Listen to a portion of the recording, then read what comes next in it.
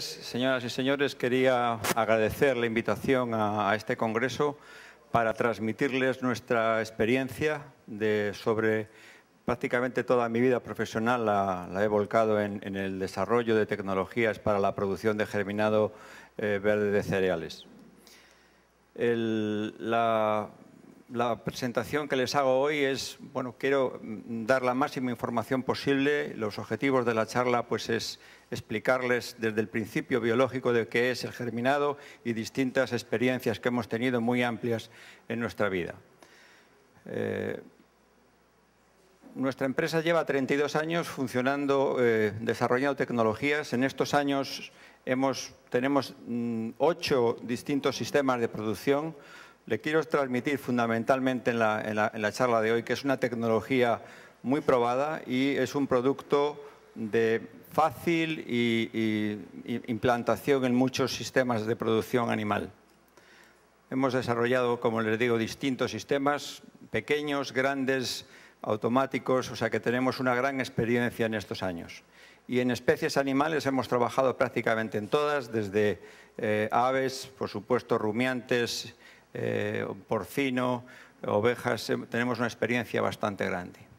Antes de empezar la charla, y por centrar un poco qué es y por qué hacemos el forraje hidropónico, pongo siempre esta diapositiva para que entendamos todo, eh, todos por qué, o sea, qué es, qué es el forraje verde hidropónico o qué es el germinado verde. Si consideramos 100 gramos de trigo, 100 gramos de harina y 100 gramos de pan, si comemos tal cual nosotros 100 gramos de trigo, difícilmente aprovecharíamos más del 10%, porque gran parte del producto, igual que entra, saldría de nuestro organismo. Ya en harina seríamos capaces de digerir un 40%, sin embargo, si esta harina la mezclamos con agua, la calentamos y la metemos en un horno con unas levaduras, finalmente obtenemos pan y llegamos a una digestibilidad del 95%. Es, son los mismos 100 gramos, no, no ha habido una variación en la, materia seca, en la masa. Incluso la energía que tiene, si quemamos estos 100 gramos, estos 100 gramos y estos 100 gramos, la energía que hay acumulada en cada uno de los productos es la misma. Entonces, ¿por qué hacemos esto? Porque nuestro organismo, igualmente cuando hablemos del forraje en los animales, eh, mm, las moléculas que somos capaces de digerir tienen que estar en un estado de fácil digestión. Bueno, pues este mismo principio que en nuestro día a día utilizamos es lo que realmente hacemos con el forraje hidropónico. O sea, transformamos unos elementos que nos da la naturaleza, que son las semillas, que son almacenes de energía que eh, la planta deja como herencia a su descendencia, eh, la transformamos en ciclos cortos, en, un proceso que es absolutamente natural y que en la naturaleza sucede habitualmente pues cada, cada inicio de temporada eh, de, crecimiento de las plantas. La semilla, como he dicho, es un sistema de almacenamiento natural. Es un sistema en donde todas las moléculas están muy empaquetadas. Hay almidón, que es una molécula muy larga, un hidrato de carbono muy largo, difícil de digerir porque justamente lo que está buscando eh, la planta es que sea complicada de atacar por, otros microorganismos o por otros seres y tiene una, baja mm, digestibilidad, muy baja digestibilidad para, cualquier animal. Si a esta semilla le aportamos agua, le damos la temperatura adecuada y el oxígeno adecuado, el embrión que está dentro de la, de la semilla es capaz de por sí mismo poner en marcha una serie de reacciones que consigue transformar algo eh, muy poco digerible en algo muy digerible. Yo lo denomino molienda biológica. Conseguimos, no nosotros, sino es la propia planta la que hace este trabajo, eh, poner en marcha una fábrica que transforma un producto muy, muy difícilmente digerible en un producto muy fácilmente digerible. ¿Qué se obtiene? Se obtiene algo, una pequeña planta recién nacida, con una digestibilidad muy alta, está en su tope de, proteína en ese momento. A partir de ahí, la planta en su crecimiento crece en masa, pero pierde ya calidad, eh, lógicamente se fortalece, crece, se hace, se hace robusta para ser una planta adulta, pero en este estadio es en el momento en el que la planta tiene su mayor poder alimenticio, donde sus moléculas son más fácilmente digeribles. Hemos transformado eh, gran parte del almidón en azúcar, con lo cual evitamos riesgos de, problemas de, digestiones, de acidosis en, en, la alimentación animal y lo transformamos en un producto único por, lo, que os decía, que la facilidad de digestión que tiene el sistema. Además, como consecuencia de esas transformaciones, aparecen ligados a la molécula de clorofila, que aparece en la parte verde, una serie de vitaminas que no existían en la semilla. Aparece vitamina A, vitamina C y E, todas ellas muy interesantes en la salud del animal y en la fertilidad del mismo. ¿Qué es el, forraje hidropónico? ¿Cómo está? En primer lugar, para mí, un atributo muy importante es que está vivo. Mm, suena un poco raro, pero hay muy pocos alimentos, excepto cuando el animal come directamente en el campo, que podamos llevarle en un momento que pueda estar confinado o que se le pueda alimentar en un filot o en momentos donde el campo no se puede, que el animal aún lo puede comer cuando todavía está vivo. No ha perdido absolutamente ninguna de sus características, porque en el momento que una planta se siega, se corta, se transporta, empieza a perder calidad eh, eh, en, todo ese proceso de manipulación. En este caso, el producto, cuando se lo come el animal, aún está, la plantita todavía está, viva. Tiene una composición muy interesante entre proteína y energía, en nuestro caso y en los sistemas que hemos empleado no hemos utilizado nunca eh, mm, fertilizantes ni, precursores de, crecimiento, solamente utilizamos la semilla y el agua. O sea que es un producto 100% natural que en muchos casos se utiliza en, ganadería ecológica o en ganadería orgánica en algunos de nuestros clientes y está aceptado. Luego, por supuesto, tiene un gran, es muy apetecible y muy digestivo, como veremos posteriormente nos permite producir un producto estable y constante, verde, vivo, los 365 días del año, independientemente de la climatología que tengamos. O sea, nos hace independiente de las oscilaciones que puede tener el clima. Es otra función interesante el ahorro de agua es muy grande, ahorramos 200 veces que eh, producir la misma cantidad de, producto verde en el campo y luego las necesidades de superficie eh, son muy pequeñas. En una sala como esta se pueden producir cerca de 4.000 kilos día en el salón en el que estamos en este momento, en con un ratio de 1.000 kilos por, por cada 60 metros cuadrados. Ya veremos que es muy fácilmente modulable y es muy fácil. Bueno, resumiendo todo lo que hemos comentado, eh, eh, digo cebada en este ejemplo, puede ser maíz, puede ser, como ya hablaremos más tarde, puede ser sorgo, puede ser cualquier cereal.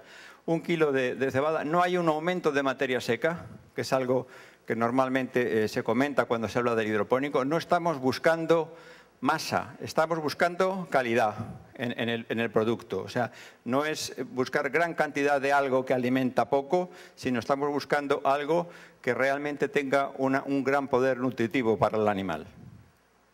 Y todo lo que hemos comentado antes de vitaminas y otras eh, eh, enzimas digestivas que aparecen en el producto. Por ir centrando un poco del tema desde el punto de vista económico, eh, mm, esta ecuación que, aquí que les planteo, un kilo de semilla se transforma en 6 kilos de, forraje hidropónico. Esta es la transformación estándar. Puede ser un poco más o puede ser un poco menos, dependiendo de la, variedad y del tipo de semilla.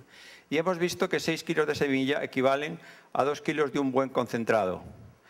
Eh, por lo tanto, estamos transformando en nuestra propia casa, en, nuestra propia fábrica en realidad, porque lo podemos producir directamente en nuestra explotación, un kilo de semillas lo estamos transformando en algo que equivale a dos kilos de un buen concentrado. Como sistemas de producción, voy a dar una pasada rápida a todos los sistemas que hemos utilizado eh, que puedan mm, mm, explicar distintas modalidades en la producción. ¿Qué hemos pretendido? Pues repetir lo que ocurre en el campo. O sea, no, hemos buscado dar unas condiciones ideales a la semilla para que ésta crezca en el tiempo no es más rápida que lo que ocurre en el campo. En esos ocho días también vemos muchas veces que se transforma algo que estaba seco, cuando caen las primeras, las primeras lluvias, reverdece y en ocho días se ha transformado el, pasto. ¿Qué hemos buscado? Pues lógicamente minimizar la energía, la, mano de obra, la facilidad y la robustez de los equipos. Eh, sabemos y hemos sabido desde nuestro principio que eh, son, instalaciones que se dejan en el sector agrario, se dejan en manos de, mm, personas, ganaderos o, gente que está muy relacionada con el campo. No, son instalaciones para científicos o, gente de bata blanca, sino gente ruda que trabaja al día al día y que está ordeñando animales o, o trasladándolos de un lado para otro. Todas estas son los, distintos sistemas que hemos desarrollado en estos años. El que tiene un abanico más amplio de, aplicaciones es el sistema de subirrigación en bandejas.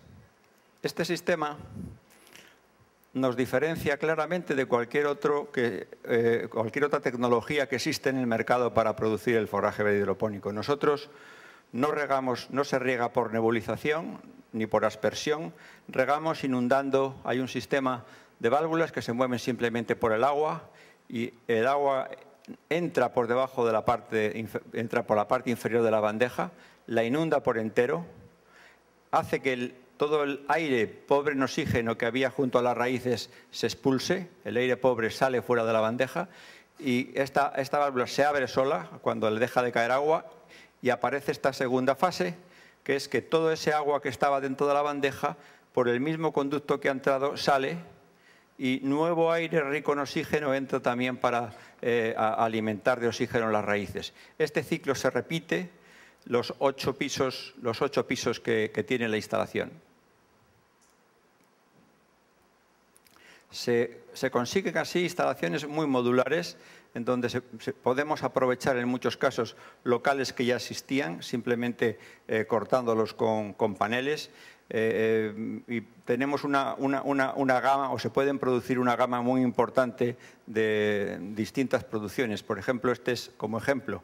Esta es una salita que produce mil kilos día en 70, con la sala de trabajo anterior a la, cámara de germinación, que es esta. La cámara de trabajo que está aquí son 72 metros cuadrados, en, en, 16 metros por, por 4 y medio. Ahí se modula a distintos tamaños. Esta es una de, por ejemplo, 5.000 kilos día.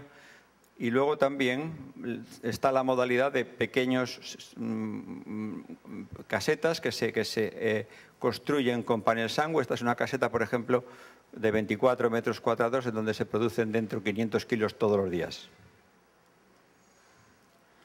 La modulación es enorme, o sea, se consigue, se repite siempre esa torre de cultivo que les he explicado y podemos modularla y conseguir distintas configuraciones en L, eh, aprovechando salas cuadradas o alargadas, o sea, es muy, muy fácilmente modulable.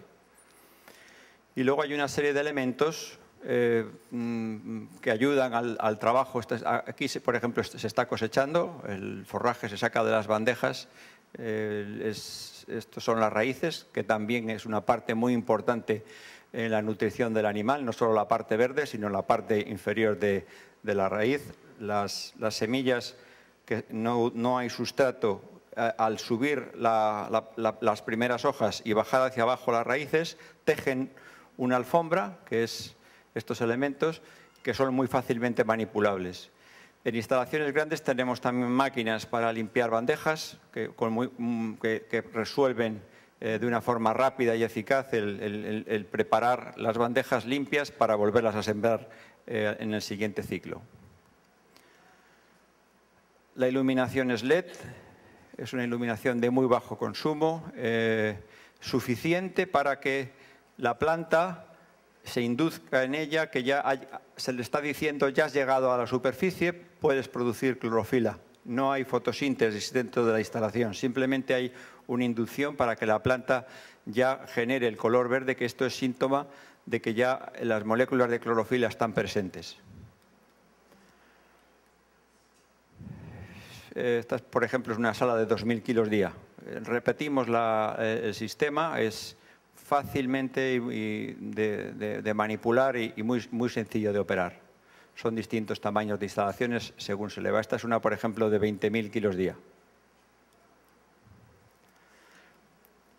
Este ejemplo, esta es una instalación para vacuno de, para vacuno de leche en Kazajstán, con una climatología muy dura. Aquí están de menos 40 en invierno a más 45 en verano. O sea, aquí tienen todos los climas de la Tierra en esta instalación y producen 10 toneladas al día. Este cliente nos compró hace 22 años una instalación que aún funciona.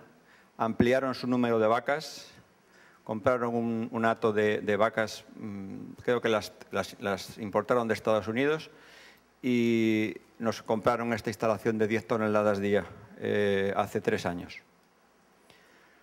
El, panel de control aquí está en ruso porque, bueno, lógicamente es el idioma que, ellos manejan. Esta es una de las naves, una de las naves de una nave con pasillo. Por supuesto tienen un TMR, un mixer para preparar las, raciones de las, de, vacas. Hablaremos luego un poco también de la utilización como un elemento más en la alimentación del hidropónico.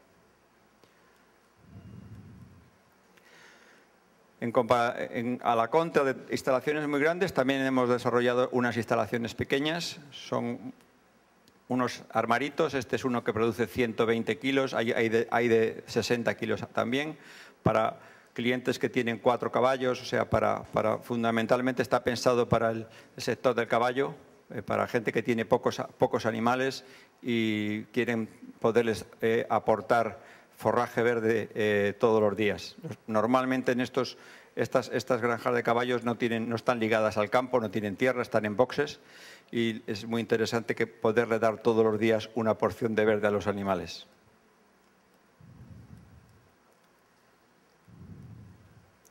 Este es el modulito pequeño y se abren, son puertas que se abren y se puede cosechar cada día se cosechan aquí ocho bandejas, 120, 120 125 kilos. Otra modalidad que tenemos también es eh, que para em, situaciones muy particulares de gente que quiere cambiar eh, o que pretende cambiar su, situación de su granja o tiene dificultades para construir porque no tiene materiales o por, permisos y licencias, que en, su granja no le dejan construir más, se desarrolló este sistema. Eh, en uno de 20 pies se pueden producir 250 kilos al día y en un 40 pies, un high cube de 40 pies, se producen 500 kilos al día. En algunos casos nos han pedido a ver cómo podíamos aumentar la producción y hemos desarrollado estos sistemas. Llegan dos contenedores cerrados, lógicamente, y nuestra gente, cuando llegan, los ensamblan, quitan la pared central y organizan. Esta produce 1.000 kilos al día y esta 2.000 kilos al día. Eh, una igual que esta tenemos funcionando en Guatemala y como esta tenemos también una en Guatemala y, varias también en, Asia funcionando en este momento. Los contenedores, este es el contenedor dentro, tiene igualmente una antecámara y esta ya es la, sala de cultivo dentro del contenedor.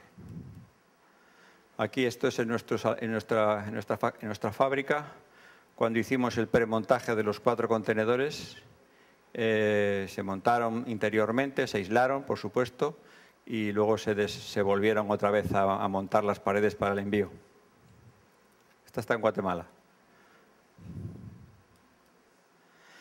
Bueno, dentro de toda nuestra historia, que ha sido larga, hemos tenido muchos años, esta es una instalación en cintas automática para producir 30.000 kilos al día, otra de las tecnologías que hemos puesto en marcha.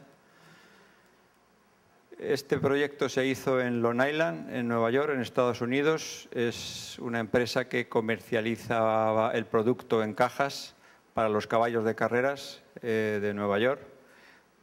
Por supuesto, todo lo que veis lo hemos, este, es todo ese sistema automático de limpieza de cajas, el desapilado, limpieza, sembrado de cajas automático y formación a través de las torres.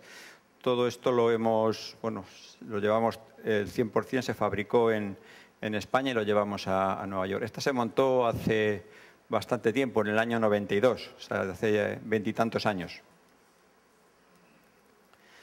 Otra tecnología diferente para climas muy fríos, aquí no lo podemos aplicar por, la climatología de, aquí, eh, desarrollamos otro nuevo sistema que es la producción en invernadero ligado a la generación de energía. Esto es un motor de, explosión.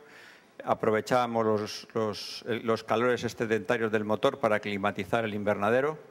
Y bueno, había máquinas, desarrollamos máquinas para sembrar y, cosecha, y, máquinas para recolectar. Al mismo tiempo, esta máquina que recolectaba era el mixer que mezclábamos con, con los otros componentes de la dieta. Eh, en esta instalación mm, se producen 240 toneladas al día para un lot. Todo esto que os, que os, todos estos sistemas y estas tecnologías, lo que quiero transmitirles es que es algo que funciona. O sea, nadie hace una instalación de 240 toneladas como un invento o como una prueba o como algo eh, bio o hippie. Esto es una tecnología 100% probada, con, muy experimentada y que lógicamente en cada, en cada sitio y en cada país y para cada eh, ganadero tiene una aplicación. No quiere decir que todo el mundo que tenga una vaca o un cordero tenga que tener un hidropónico. Eh, hay que analizar en cada caso las materias primas que se tienen, a los precios que se compran y, ver eh, la, idoneidad. Son distintos sistemas que hemos implementado para grandes producciones. Otro sistema que hicimos, este es móvil, son torres móviles también para, producir el germinado con sistemas automáticos. Este es un llenado automático de bandejas. Bueno, eh, este, este es, un, esto es una leguminosa, lo que germinábamos aquí. En los animales, como hemos dicho, hemos aplicado en, todas las especies y vamos a dar un pequeño repaso de cuáles son sus principales características según el tipo de animal. En, cebo de terneros hemos visto claramente que elimina trastornos digestivos, evita acidosis, eh, reduce la incidencia de enfermedades, aumenta las, defensas de los animales por poderles dar una alimentación verde. Ustedes tienen la, la suerte de, de, tener un país muy verde con una, una producción muy abundante de, forraje. No quiere decir que siempre se pueda aprovechar, porque a veces se riega o no, o no todo el mundo tiene tierras suficientes, pero en muchos filotes donde los animales nunca comen verde, siempre comen seco, aportarles una porción de germinado pues es muy interesante. Eh, se ahorra en la ración, en la mayor parte de los casos, por la digestibilidad que tiene el producto, y luego también lo que se ha visto es que eh, mm, se obtienen unas carnes de muy alta calidad por el tipo de, alimentación. En vacuno de leche hemos puesto cuatro puntos, pero la lista puede ser mucho más larga. Pero un punto importante es que al poder dar un producto de homogéneo todos los días del año de idéntica calidad, esto repercute muy positivamente en la curva de lactación, que no tenga vaivenes que siempre son graves a la hora de recuperar luego la, producción. Igualmente que en todas las razas animales el estado sanitario de la vaca está muy bien, hay efectos muy importantes sobre la fertilidad. Eh, desde el punto de vista ya económico, dependes menos del medio exterior, tú tienes ya un producto que es tuyo, que lo produces tú mismo y con una calidad además testada por, el, propio, propietario que funciona muy bien. Como efectos también muy importantes que hemos visto es esa mejora en la sanidad, prolonga la vida, puede prolongar la vida productiva de, la vaca. Igualmente hemos trabajado con, ovino de carne, este es un sistema de alimentación en, banda, en cinta transportadora, con muy, buenos, con muy buenos resultados a la hora de, sacar adelante a los nuevos corderos y a la lactación de, a la producción del número de, corderos destetados por, madre. En ovino de leche, igual que en, ovino, en vacuno de, leche, son las mismas características. Los animales se obtiene una mejora en la, homogeneidad y en, este caso, a la, hora de aprovechar mejor la fibra, que le aporta siempre al lado del germinado, eh, normalmente el aumento en grasa y en extracto seco es un efecto que también se consigue con facilidad. En caballos, que hemos hecho muchas instalaciones para caballos también, hay un eh, evita cólicos, que es siempre un problema grave en la, cría del caballo. Es un elemento que algunos veterinarios lo utilizan, lo llaman el yogur, o sea, un complemento a la salud del animal, o sea, se le aporta no solo por ahorros, sino también para mejorar su digestión del resto de la, ración, sobre todo en, sitios donde los caballos están totalmente estabulados y no tienen ninguna relación con el campo, pues es también muy eficaz. Y por supuesto el aspecto del caballo y su, y su salud externa pues se ven gratamente recompensados. En porcino, tanto en cebo, pero fundamentalmente en cerdas gestantes, también nos ha dado un resultado muy, muy bueno para, hemos con, con, destetes de mayores del número de lechones. Esta es una cerda eh, de las que tenemos en, España, de donde sale el famoso jamón, el jamón de, de cerdo ibérico, jamón de jabugo. Hemos trabajado con conejos, con aves, eh, con aves de caza, con pavos, Hemos montado recientemente una en Italia para pavos y pollos ecológicos, una, ganadería que, vende gallinas eh, que las certifican, que toda la alimentación es ecológica y es fácilmente conseguible esa certificación porque solo son semilla y agua lo que utilizamos. En cabras de leche, pues lo mismo que hemos hablado en ovejas y en, vacas. Bueno, realmente es una herramienta que el ganadero tiene una herramienta más. Esto no es nada, no es, nada milagroso ni nada maravilloso, pero es una herramienta más que te permite poder jugar con otros productos que tengas a tu alrededor en tu explotación y gracias a eso mm, conseguir mejoras. Hay gente que ha conseguido mejoras porque ha conseguido destinar parte de la tierra que tenía destinada a los animales, los ha podido destinar a otro cultivo que a lo mejor ha dado más, rendimiento. Eh, mm, ha habido personas que han conseguido, eh, mm, lo que hemos hablado, prolongar la vida productiva del animal. O sea que las ventajas pueden venir por distintos sitios, no solo por el ahorro en el coste de la alimentación, que está claro, te pueden venir por otros, por otros aspectos que consigas en la granja. Y por último, quiero hacer mención de algo que para mí es una de las eh, características más importantes que tiene este producto y que, hemos visto claramente en nuestra experiencia. Y es eh, cuando lo utilizamos dentro de la ración única, dentro de una mezcla, dentro de un carro mezclador. Eh, cuando el producto eh, se consume con cualquier otro, otro elemento, hemos visto que el animal obtiene mayores, o sea, digiere mejor el resto de los componentes que la acompañan en la, dieta. O sea, es, una particularidad muy interesante del, producto. Experimentalmente lo tenemos muy claro. Este año hemos iniciado en una universidad en Madrid un, estudio para cuantificar este efecto, que es muy interesante. O sea, eh, de comer heno o paja sola a comer heno o paja con el hidropónico, eh, se ha visto claramente que el animal, por motivos que, podemos apuntar, por ejemplo, que prolifere más, hay un aumento en la flora del rumen que, le predispone a digerir mejor que haya otra cosa.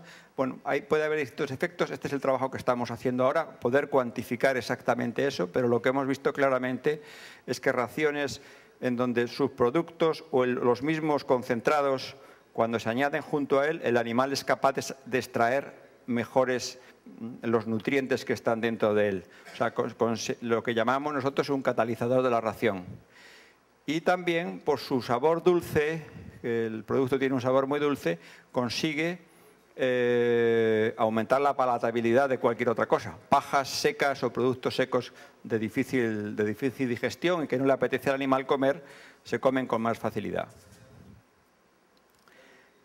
el, utilizarlo junto dentro de un, carro mezclador pues es un efecto muy importante para luego eh, tenía algunas películas pero estamos ya un poco cansados todos. Luego eh, si alguien quiere lo podemos ver pero teníamos más, más información. O sea normalmente es, es esta mezcla con paja o con heno o con, o con silo. Eh, consigues que todos esos elementos sean mejor aprovechados. El silo, sabéis que tiene un pH bajo, es, un producto muy ácido que, hay que controlar también el volumen que se tome por provocar acidosis en la ración. Sin embargo, el forraje hidropónico es alcalino, o sea, es justamente lo contrario al, silo y lo que hace es equilibrar el, pH final de la ración y conseguir un, mejor efecto del animal. En algunos casos hemos suministrado plantas en donde se mezcla el forraje, seco o húmedo, lo que haya en su caso, y harinas también de distintos elementos, con lo cual conseguimos lo que llamamos central de alimentación. En vez de una fábrica de concentrado, una, una fábrica en realmente de completas. Tenemos varias cooperativas que han optado por este sistema de alimentación, se han reunido varios, varios propietarios en donde no solo han, tenido la, han producido el hidropónico, sino además acopian distintos elementos que mezclan eh, nutricionalmente para conseguir aplicar ya directamente una, una, ración completa como suministro al ganado, hecho en común. Este es un proyecto muy grande que hicimos en, en Qatar. Eh, esto está en medio del desierto, o sea que hay una, una central de alimentación. Nuestra compañía, aparte de los sistemas de hidroponía, por cerrar un poco mi presentación, eh, además de esto hacemos proyectos completos, o sea, no solamente fabricamos el hidropónico, sino que hemos hecho granjas completas. O sea, conocemos muy bien la ganadería porque hemos hecho plantas que incluso en algunas de ellas las hemos gestionado. Esto es una planta de compostaje, esto es un matadero, un, matadero de vacuno. Eh, hemos, esto es un complejo también de producción de ganado. Hemos desarrollado también eh, cultivo de... Esto es un invernadero automático para producir lechugas. Eh, una planta de la, planta grande que hicimos en Portugal para germinar altramuz. Este es el filot que os dije, este es un invernadero de cuatro hectáreas, que eh, les he enseñado algunas fotos en su interior y estos son el filot de 12.000 terneros. Aquí está la planta de compostaje y al otro lado de la carretera estaba el, matadero. Y en este momento estamos construyendo un complejo para producir carne de pollo en ciclo completo en Kazajstán. Nada más, esto era lo que brevemente el día ha sido muy largo. Si alguien tiene alguna consulta, encantado de responderles aquí ahora, si pueden, o, después, o cuando ustedes lo precisen. Muchas gracias.